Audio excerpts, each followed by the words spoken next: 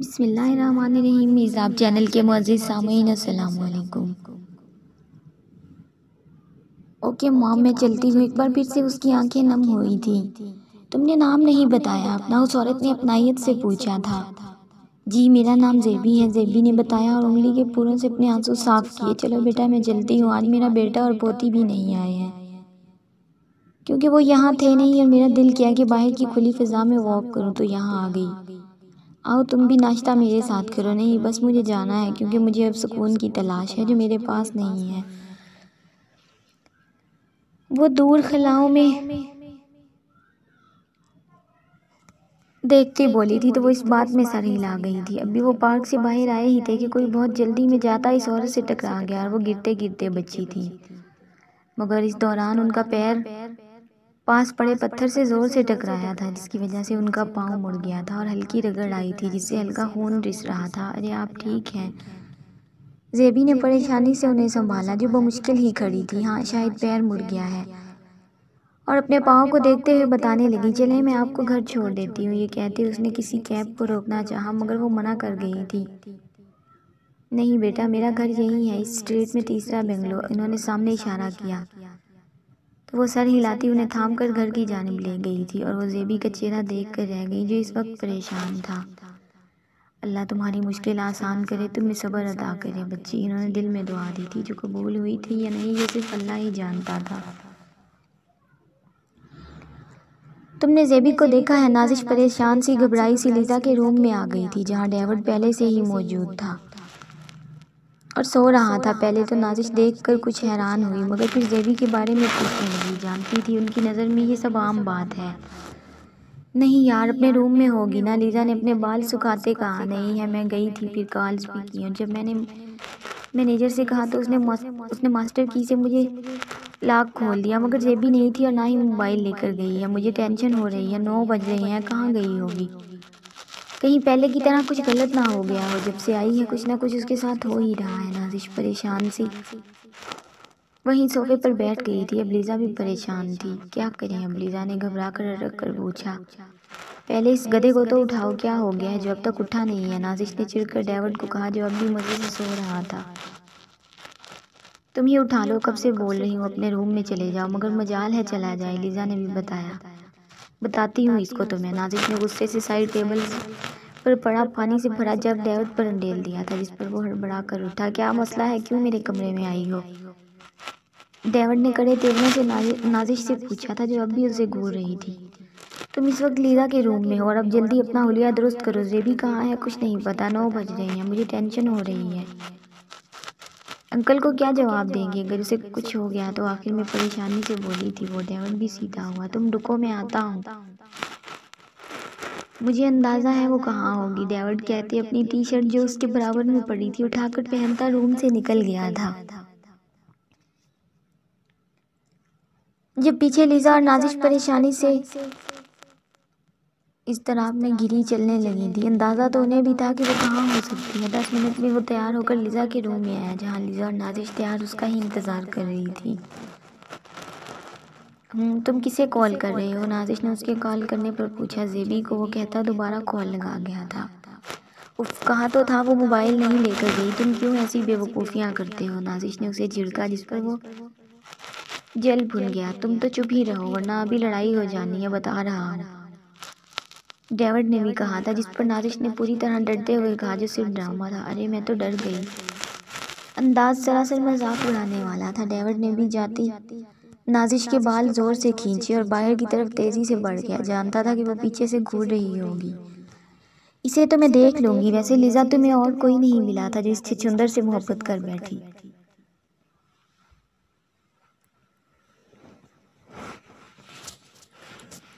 नाजिश की बात पर लिजा मुस्कुराई थी, बस दिल है जिस पर भी आ जाए, फिर दोनों ही मुस्कुरा दी और बाहर कैब में बैठ गई, जहाँ डेविड पहले ही बैठा उनका इंतज़ार कर रहा था।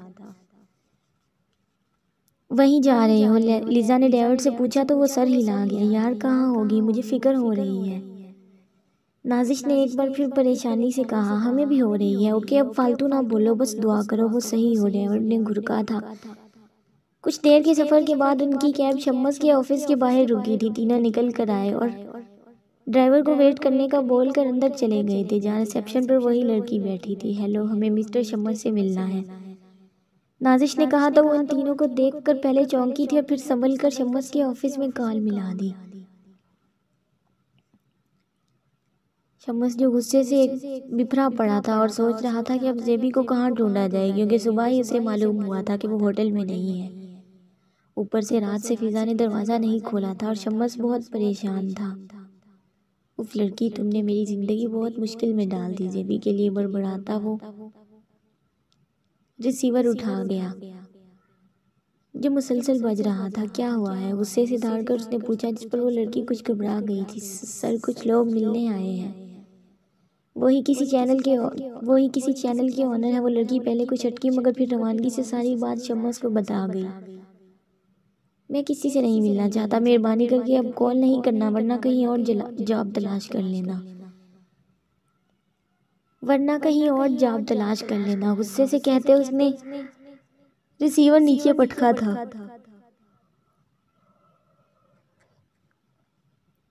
और अपनी कनपट्टी मसलने लगा उसका सर दर्द करने लगा था। वो फिज़ा की नाराज़गी से डरता था और आज वो उससे नाराज़ थी। सर नहीं मिलना चाहते। उस लड़की ने अफसोस से कहा।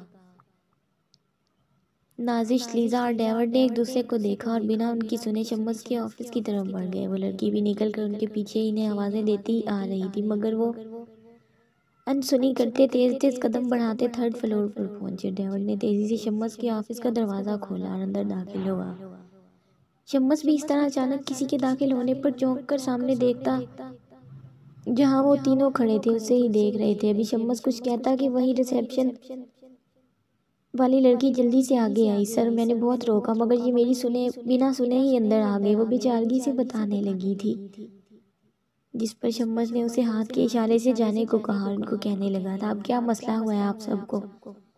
लहजे में गुस्सा नुमाया था सर हमें बताएँगे जेबी कहाँ है? क्या वो यहाँ आगे डेविड कुछ कहता कि शम्मस ने गुस्से की ज्यादती के साथ दहाड़ कर कहा था आज के बाद मेरे ऑफ़िस आने की कोशिश मत करना और उस नीच लड़की का मेरे सामने नाम भी लिया तो तुम तीनों के लिए अच्छा नहीं होगा। दोस्त है ना तुम्हारी तो अपनी दोस्त को समझा दो। जिनसे मोहब्बत करते हैं, उनकी खुशियाँ बर्बाद नहीं करते। वो मेरा बर्बाद घर बर्बाद करना चाहती है। किसी कैसी लड़की है वो कोई? कैसे ऐसी हरकत कर सकता है? मुझे ये बात समझ नहीं आती। मैं तो ये समझा था कि वो बस अट्रैक्ट हो रही है, मगर नहीं, वो अभी इस हद तक जा रही है कि मेरे घर पार्सल भेजने। भेजिए वह अपने दोस्त को समझा देना मुझसे दूर रहे वरना अंजाम बहुत बुरा होगा। डेविड लीजा और नाजिश परेशान से उसकी तरफ़ देख रहे थे और उसके लफ्ज़ों को समझने की कोशिश कर रहे थे। आप ऐसे अल्फाज का इस्तेमाल जेबी के लिए नहीं कर सकते वो मोहब्बत करती है आपसे किसी तरह आप उसे किस तरह आप उसे जलील कर रहे हैं नाजिश एकदम गुस्से से बोली जिस पर डेविड ने उसका हाथ थामा था लीजा ने भी नाजिश के कंधे पर हाथ रखा ओ बीबी निकलो यहाँ से वरना मुझे अब गार्ड को बुलाना पड़ेगा। शम्मस ने भी उसी अंदाज में कहा नाजिश पहले उसे घूरती रही और फिर मुड़ गई थी। उसके पीछे डेविड और लीजा भी मुड़े मगर नाजिश एकदम मुड़ के उसके पास आई और उसके चेहरे को देखते कहने लगी थी। शम्मस मलिक तुम्हें खुद गर्ज इंसान हो। याद रखना जो किसी की मोहब्बत की बेकदरी करते हैं ना कुदरत उनकी बेकदरी करती है। अपनी बर्बादी खुद ना बनाओ किसी से सच्चे जज्ब किसी के सच्चे जज्बात को बेमोल करोगे तो खुद भी बेमोल हो जाओगे। मुझे अफसोस होता है कि जेबी ने तुम जैसे इंसान से कैसे इश्क कर लिया जो मोहब्बत करने के भी काबिल नहीं। कुछ भी करके ले जाऊँगी अब जेबी को, मगर याद रखिएगा, अगर जेबी को कुछ करने की गलती भी की ना, आपके लिए अच्छा नहीं होगा। वो दोस्त ही नहीं, हमारी बहन जैसी है माइंड इट ये कहते हुए वो निकल गई थी। पीछे डेविड और लिजा भी, मगर शम्मस नाजिश के लफ्ज़ों को समझ नहीं पा रहा था। उसका दिमाग गुस्से से फट रहा था रह रहकर उसे सिर्फ़ इस वक्त फिज़ा का ख्याल आ रहा था। इस वक्त भी वो जो नाजिश के लफ्ज़ समझना चाह रहा था वापस फिज़ा को समझाने का सोचने लगा। फिर कुछ सोच कर वो घर के लिए निकल गया उसका दिल बेचैन था कल रात से। फिज़ा का चेहरा नहीं देखा था उसने। उप क्या मसला है मीर झिंझलाया था। उसने इशारे से अपने विला के बाहर खड़े गार्ड को बुलाया जो दौड़ता आया दूसरी गाड़ी निकालो और इसे मकैनिक से चेक करवा कर लाओ। काफ़ी झंझलाए लहजे में कहता वो गाड़ी से बाहर निकला। अभी ऑफ़िस के लिए निकला ही था कि गाड़ी विला से बाहर आके ही रुक गई वो पहले ही आज लेट हो चुका था। गार्ड उसकी सुनता फ़ौरन अंदर गया। वो आँखों पर ग्लासेस लगाए बेजार सा खड़ा था कि अचानक बाएँ तरफ़ उसकी नज़र उठी और बस मीर की बेजारी रफा हुई। उसने किसी ट्रांस की कैफियत में अपनी आँखों से ग्लासेस हटाए थे। और उस परी को देखने लगा था जो सहारा देकर किसी को चलने में मदद कर रही थी। बापगट बाल बार बार चेहरा छुपा रहे थे जिस पर मीर का दिल किया कि अपने हाथों से इन बालों को पीछे करे। एकदम वो होश में आया था क्योंकि गार्ड उसे बुला रहा था वो गाड़ी ले आया था मगर लम्हा था। वो जब मीर ने गार्ड को देखा था और वो लड़की इस औरत को लेकर अंदर चली गई। जब मीर ने दोबारा गाड़ी में बैठते वक्त इस जगह देखा तो वो खाली थी किलर ब्यूटी से लब बिड़बिड़ाता वो गाड़ी भगा ले गया मगर दिल एकदम बेचैन हुआ था मगर वो इग्नोर कर गया उसे ऑफ़िस पहुँचना था